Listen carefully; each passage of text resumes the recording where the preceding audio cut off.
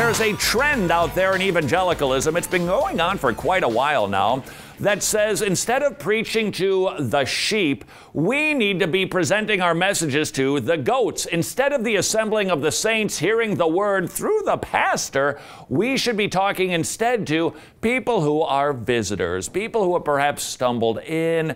We think that they might be seeking, and so let's prepare the message for them. And to those people who believe that, I, in a, in a non cage stage, non snarky kind of way, I would simply say, Are you kidding me?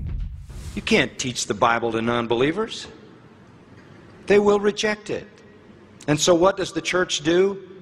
In its effort to make unbelievers content with the church, it eliminates what the people of God need in a time when the sewage out of the world is drowning the people of God and they get no help from their shepherds.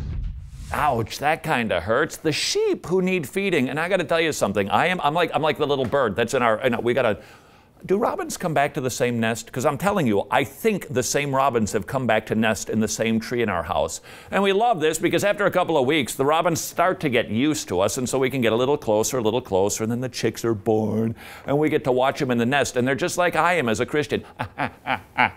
I'm like, it was a deputy dog, you know, that would, I want a treat, I want a treat. Ah, ah, ah, ah. Feed me. I am needy as a believer. I need to hear truth every single week, every single day. And when my shepherd is preparing a meal for the goats, the sheep don't get fed. And the goats simply cannot understand the things of God. Why? They don't have the mind of God. But the one thing that you learn from preaching the gospel, the gospels, is that the people never, never, never responded to Christ until they were regenerated. Now remember, Jesus is the greatest teacher who ever lived the greatest preacher who ever lived. They said about him, never a man spoke like this man.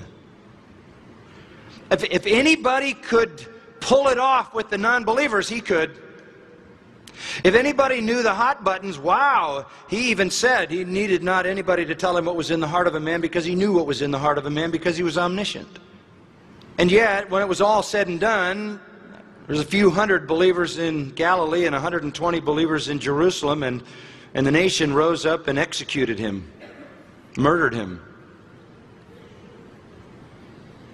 So if you think somehow that if you're clever enough, you can overpower this uh, market resistance, Jesus didn't.